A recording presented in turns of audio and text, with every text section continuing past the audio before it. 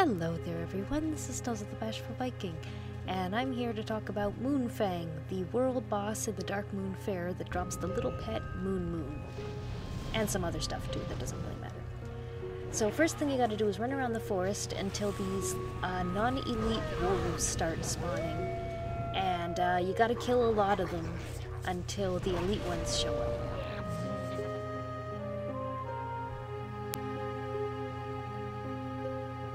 You'll get a little notice saying that the elite ones showed up. I think they're called Dreadfangs. And then you gotta run around. You get. It doesn't take as many to get to get her to spawn after these ones spawn. It only takes like maybe five at most, I would say. I think it's random how many there is, but it doesn't take very much. So after this guy dies, you'll see that she pops up, and it gives a little warning that uh, Den Mother Moonfang has appeared in in the woods and uh, show on the map uh, her location in the woods so you can go and find it. So, a few things to mention here while we're getting started. Uh, everybody gets loot as long as you hit her once. There is no uh, tagging mechanism here. Everybody gets loot. The Alliance, the Horde, um, so if, if you want to go kill the Alliance or the Horde while you're while you're doing this, you, you can be a jerk like that. But everybody gets loot. You don't have to be in a group. Um, so now we'll get into the fight a bit. Um, so the tank or whoever she's going to be chasing uh, has to kite her in a large circle. Uh, she does a lot of damage. Not not many people are going to be able to survive a couple of hits of her. Uh, so you tank her in a large, you kite her in a large circle, um, but not too far because she will reset if you get too far away, and everyone will be pissed off at you. Um, the next thing you gotta worry about is leap to the kill, which um, she does on a random player around her. Uh, you'll see like like the ground kind of mushing up under your feet and it'll say leap to the kill on so and so.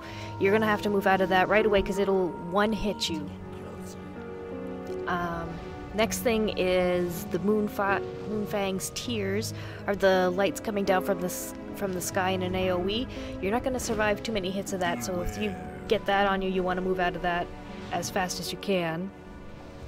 Um, further on, she's she's gonna call her pack and a bunch of adds are gonna spawn, a tank's gonna want to, a tank or somebody's gonna want.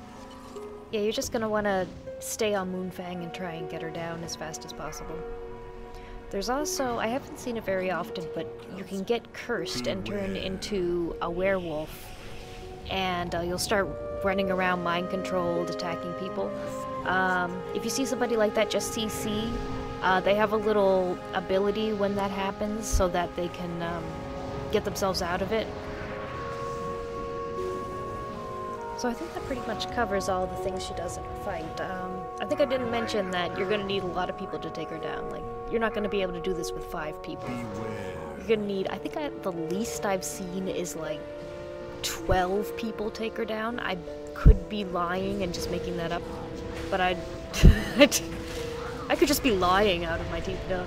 Uh, you're going to need the more people you have, the easier it's going to be. It's going to need, need to take a, a, lot of people to take her down. So uh, that's the fight. So maybe I'll speed it up a little bit from this point forward.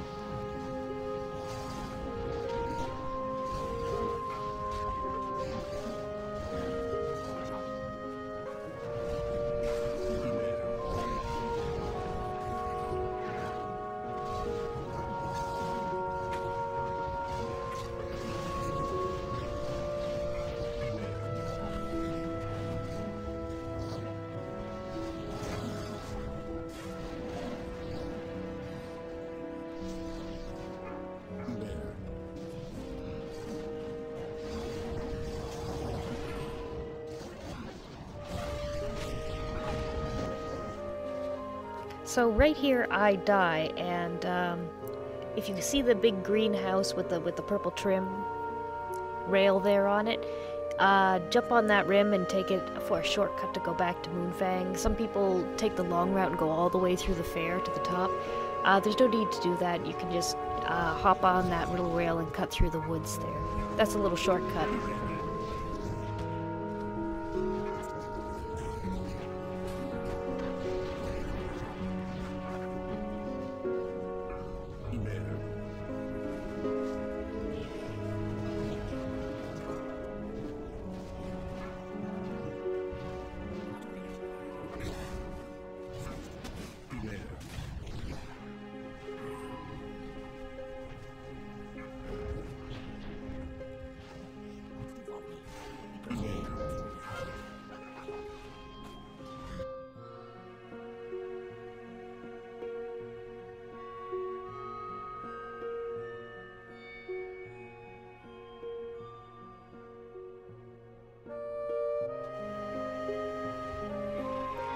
And she's down. And I get Moon Moon again. Yay! So I'll take a little time at the end of the video just to show show off my little pet. Uh, good luck getting Moon Moon. Bye!